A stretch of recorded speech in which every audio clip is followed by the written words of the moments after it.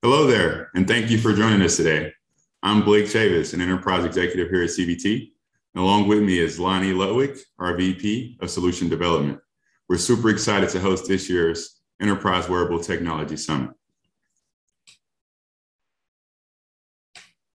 Excellent.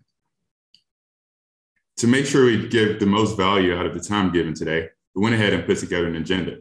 First, we want to help you guys understand the value of working with and partnering with a domain expert integrator, CBT's approach to IT and OT solution design, and also we're going to dive into some use cases so we can actually see that methodology in action.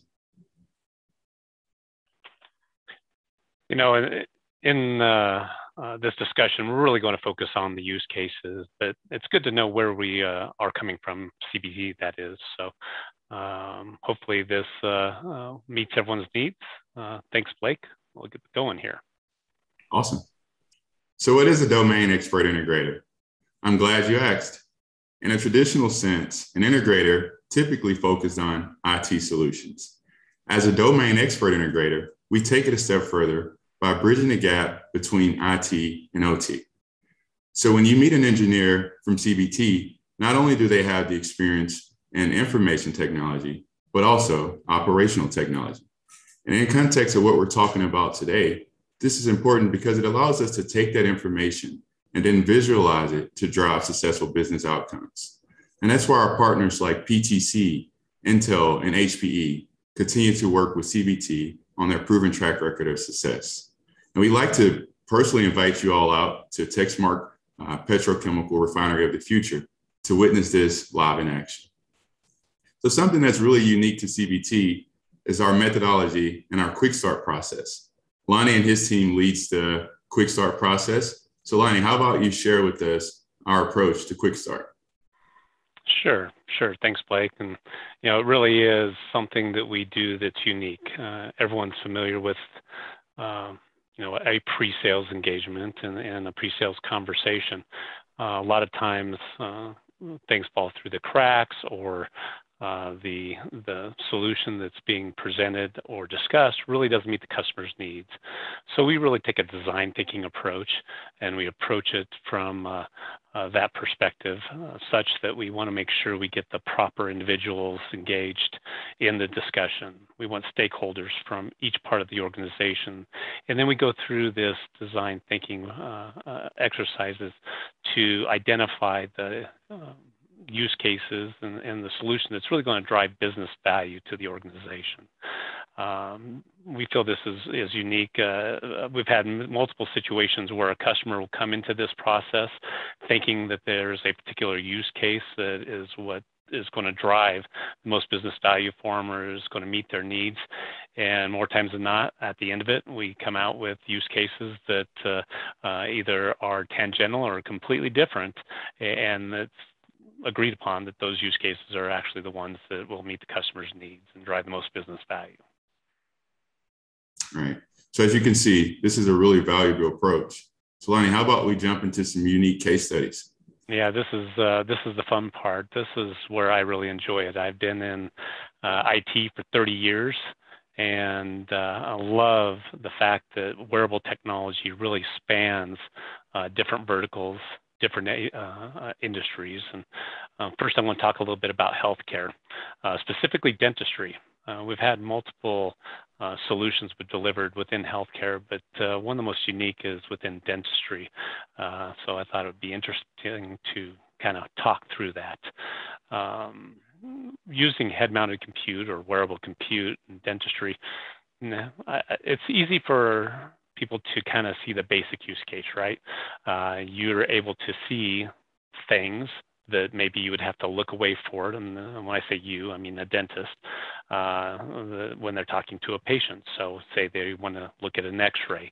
Uh, in this situation, in the solution, we're able to push an x-ray image uh, to the, uh, the dentist or the dentist is able to pull up an x-ray image and, and see uh, what he is concerned with with that particular patient. Uh, one of the biggest uh, uh, utilizations uh, the, in this particular project is uh, around remote mentor, or the ability to have another dentist talking with the dentist that's uh, conversing with the patient uh, uh, from a consultation perspective, say maybe it's an orthodontist or an oral surgeon, and they can see what that dentist is looking at in real time. There doesn't have to be a separate con call. There doesn't have to be a separate meeting to actually get that information across. It's all done in real time. Um, when we were preparing for this project, I actually had a discussion with a relative who's a dentist and talked through uh, the the specific use case and what we were delivering and and I can't even tell you how excited he got with the the capability of being able to do these type of things. Um, you know, ultimately the ROI is to make the dentist more efficient. If a if a dentist can do, have you know three, four, five more appointments in a day uh, because the appointments can either go more quickly uh, or it takes time uh, back from having to uh, jot down notes or uh, get on a call with uh, another dentist. Um, it, it, absolutely increases their ROI. and jotting down notes, that was another aspect of this, is the ability to transcribe notes verbally. no more taking notes on a piece of paper, turning away to a, uh, a laptop or a desktop that may be to the side to, to try and type in notes, but to verbally be able to transcribe the notes uh, was a, a, huge benefit. So uh, really cool use case, uh, focus on dentistry. as I said, we've had some other uh, healthcare uh, deployments, but that one was pretty cool. One to highlight that. Yeah, I have to admit, Lang, I, I really enjoy working on this opportunity uh, definitely something that's really forward thinking and super excited to see this, you know, being replicated. Uh, how about we share some other areas where CBT is really showing that domain expertise? Uh, I beat you to it. I popped the slide over to utilities. This is one of the areas where we're seeing the most success. Uh, we have several, several utilities customers. In fact, in 2021, uh, we've had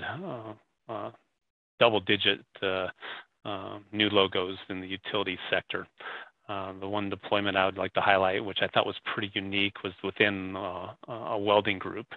Um, the the benefit here was the ability of a welding inspector to be on site while a weld was uh, occurring, taking place, and be able to have access to standards. Standards change uh, all the time within the welding industry.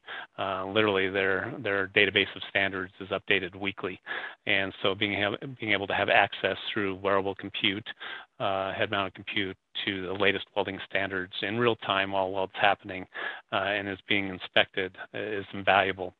Uh, then also the same thing as in dentistry. Uh, and what I mentioned earlier, the, these solutions really do kind of lay across verticals, is the ability to transcribe or voice enter data uh, as it's happening. There are compliance forms that are required to be filled out uh, when a weld happens. It has the type of material used, the heat of the weld, the experience of the welder. There's many aspects to that. Uh, before this, what would happen is the inspector would have to write the notes down on a piece of paper, go back to the truck. If they had time, pop up the form, enter that into the form. Standard little Excel spreadsheet. Uh, if they didn't have time, then they had to save those notes, and then that night at home, they're tired, they had to enter those notes into that spreadsheet. In real time, while they're watching the weld, uh, they can do this now verbally. They can open up that spreadsheet. They can enter that information and it's stored in SharePoint. Uh, so fantastic uh, uh, increase in efficiency for that uh, that welding inspector. And same thing as with dentistry, the ability to have remote observation, remote mentor, another inspector, uh, say if it's certification time, another inspector can actually uh, uh, be pulled in to see what that inspector is seeing uh, during the welding process. So absolutely uh, a valuable tool, and uh, uh, the ROI is tremendous, making not only the the uh, uh, welding inspector more efficient, but also not getting fines because the information that's being put in is accurate. Uh, many times, if that information is not put in accurately and it's discovered, it can result in a fine by the, the state and even from a federal uh, agency that uh, um, can reach into potentially the millions of dollars. So uh, a great use case and, and a really uh, cool solution.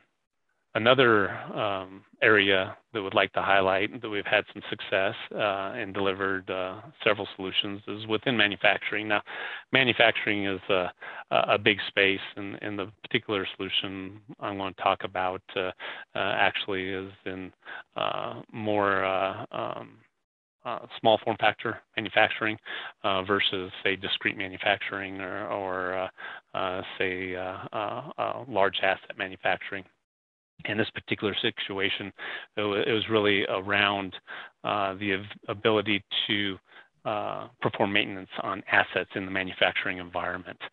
Um, being able to look at a asset, a uh, uh five-axis milling machine, for instance, and this situation, and uh, be able to know the, the information about that asset real time be able to pull that information up through scanning, say, a QR code, which is what we did.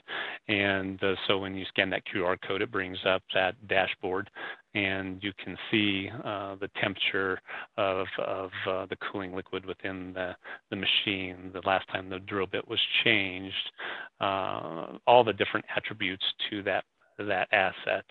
Um, really a cool application and, and, a different type of visualization.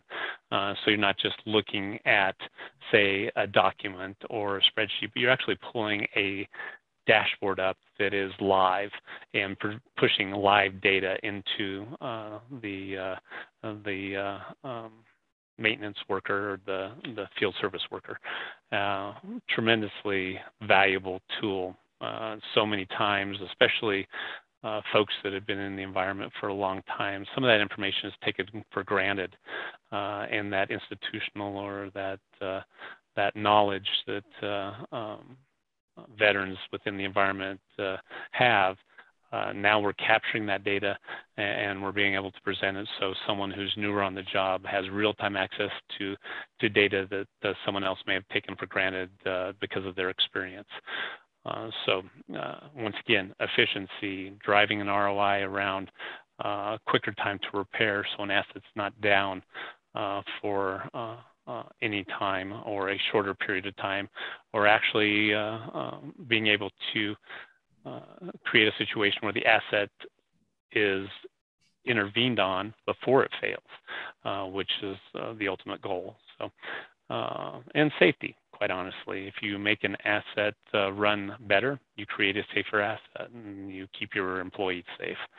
So uh, um, another cool use case, and uh, you know, it's uh, it's it's exciting to see how these uh, really transcribe across uh, industries. We're, we're working in multiple areas, as I said, currently working on a, a project that's uh, underway for 3D visualization within a construction environment. So cool stuff, really, really exciting. And, and CBT, with the breadth and depth of experience we have, we're able to really uh, be agile and build solutions uh, and work with our OEM partners to deliver on the needs of our customers.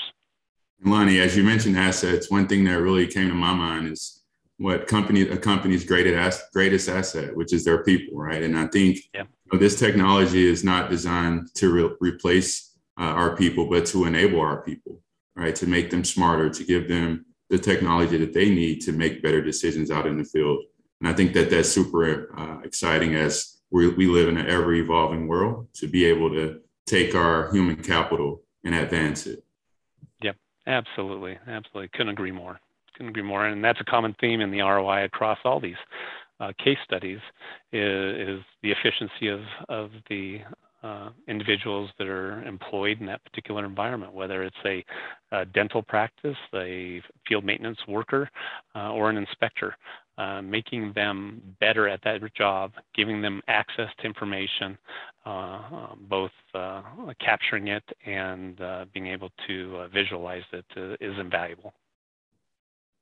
Lonnie, thank you for sharing those great use cases. Could you go a little bit more into depth on what integration actually means?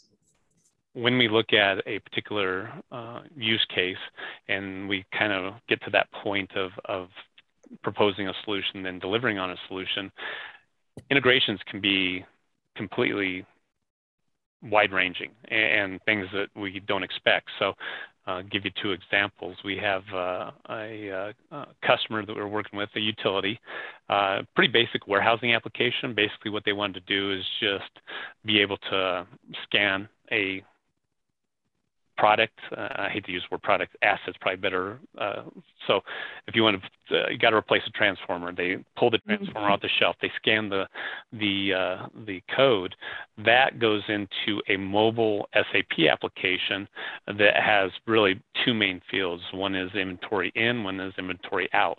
And then it basically says this piece of inventory has been taken out uh, of the warehouse uh, for remote locations. Uh, what they used in the past were handheld devices where they actually had to carry a holster and do that. Now they could use the, the headset they can use for other things. Um, so we did that integration by working with a third party uh, that built that app and to understand how they integrate with SAP and then we integrate with that app. So, you know, it's not always as straightforward as, as you might think. And in another situation, uh, we're working with a tool manufacturer, and, and, this we're actually building the solution right now. Um, this deal closed a couple months ago, uh, but we're integrating with a third-party um, uh, training management platform based on Unity.